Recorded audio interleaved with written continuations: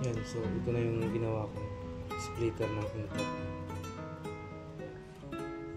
Bali kasi, bibili ka kasi ng ganito nasa mga 200 pesos sa Lazada. Kasi ito yung luma na ano, splitter.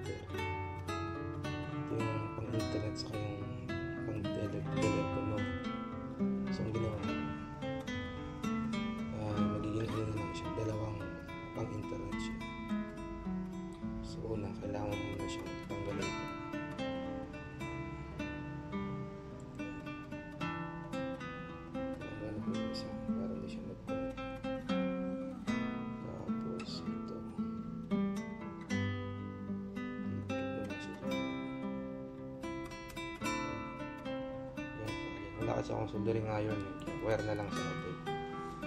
Saka yan, saka yan. Ganyan lang yan. Yan mabuti.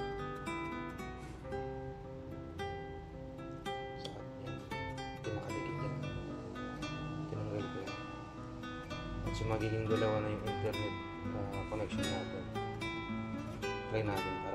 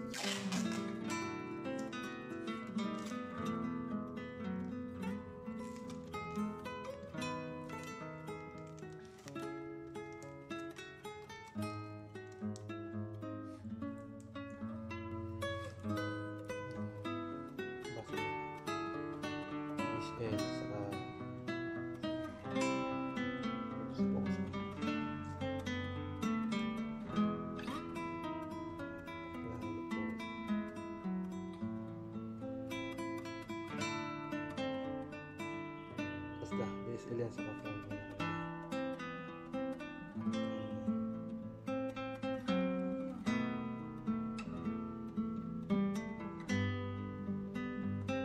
Ayan o.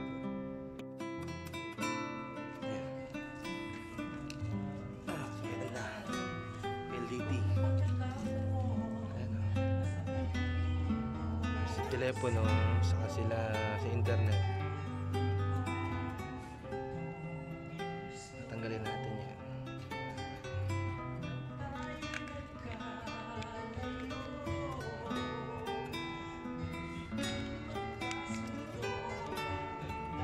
Yun, sasaksak ko siya sa phone.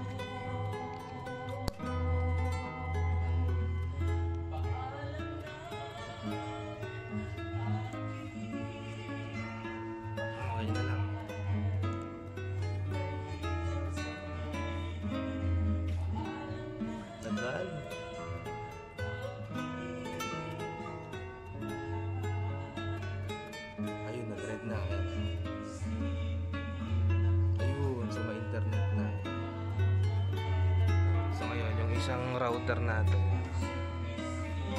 sa kabilang bahay, nalagay natin. Aray, aray. Yan. So check natin sa kabilang bahay kung gumagana.